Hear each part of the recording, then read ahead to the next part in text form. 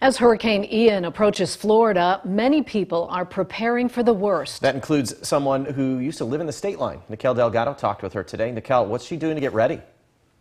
Eric, Mimi, the Stillman Valley graduate and her husband were told that they had to evacuate their home this morning. While they're doing everything they can to prepare, she says it doesn't feel real. We're evacuated from our house. So my husband's taking our dog up to our friend's house that live north of us and I'll be at, down at the hospital.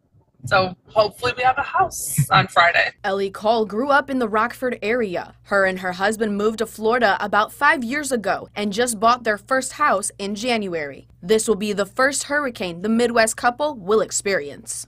A lot of like my friends that are from here, there hasn't been a bad hurricane here in like 50 years.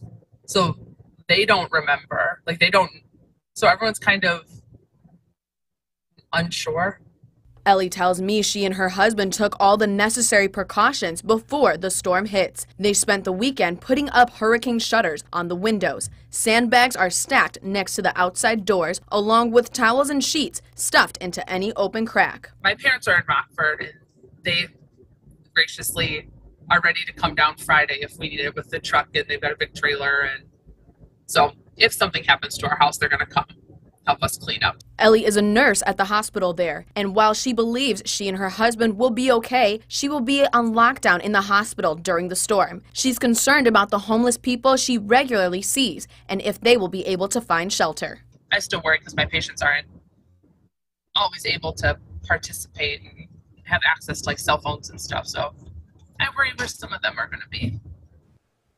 Along with getting their house ready, they also made sure to fill up their cars with gas. Ellie tells me it took them five different gas stations to find enough gas to fill up. Mimi?